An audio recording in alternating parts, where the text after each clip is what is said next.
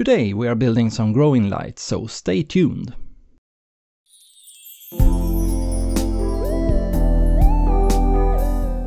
We have had sunny weather for over a week, but now the snow hits again. To be able to grow good seedlings, you have to have a good amount of light, so let's hurry building some grow lights. First, we go out to the garage and drill holes in the aluminium profile to be able to attach the LEDs.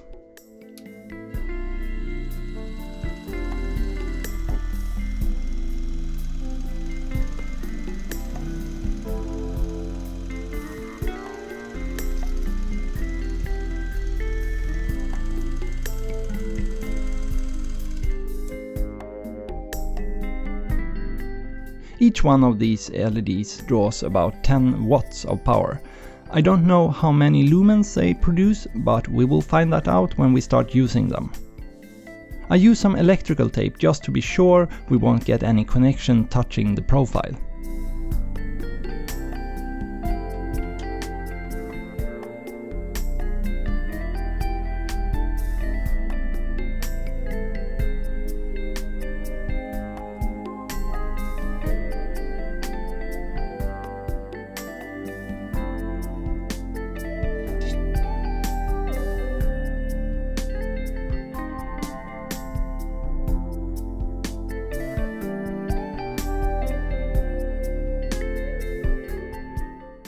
I applied the thermal compound to make a good thermal connection between the aluminium and the LEDs.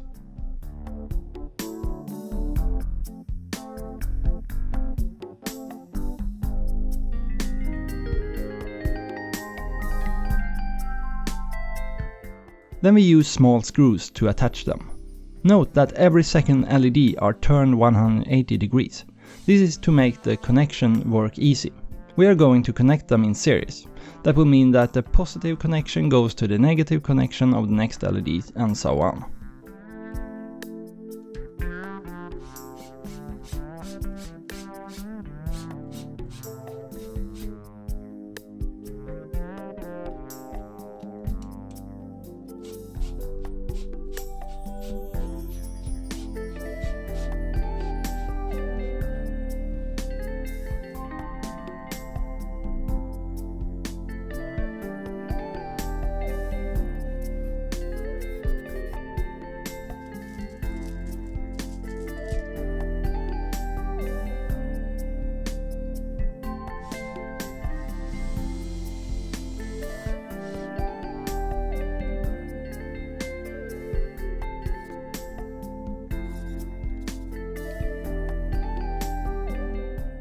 I cut some wire and we soldered them together.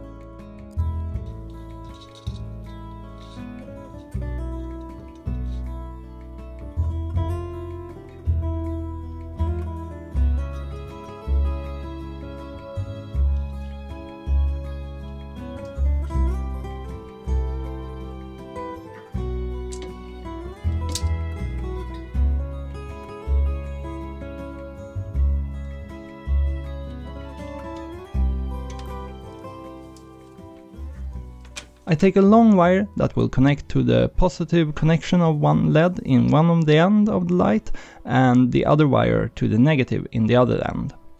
In this way we have connected them so they require about 84 volts.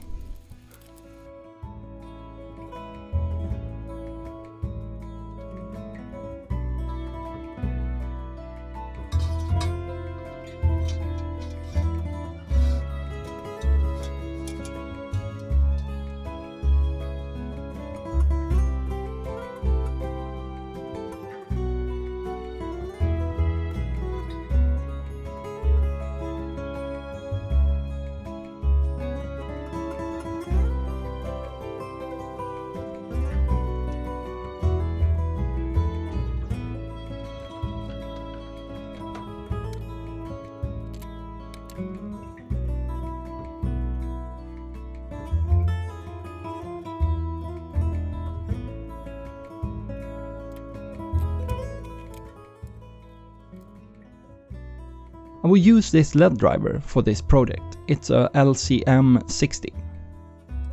You can't use an ordinary power brick, then you would ruin the LEDs. I connect the positive side to the positive terminal in the driver and the negative to the negative terminal in the driver.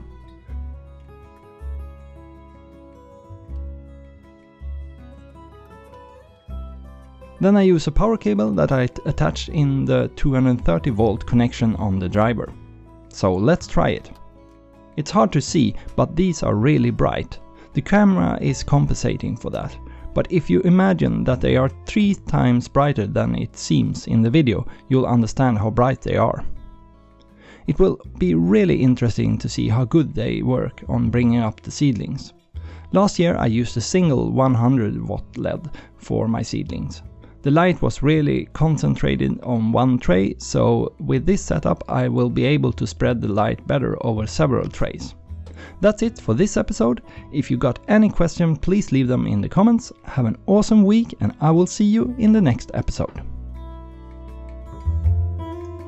If you haven't subscribed already, do so by clicking down there on the Swedish flag.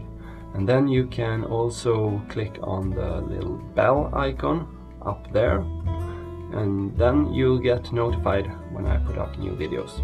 And if you want to watch another video, I got one over there for you.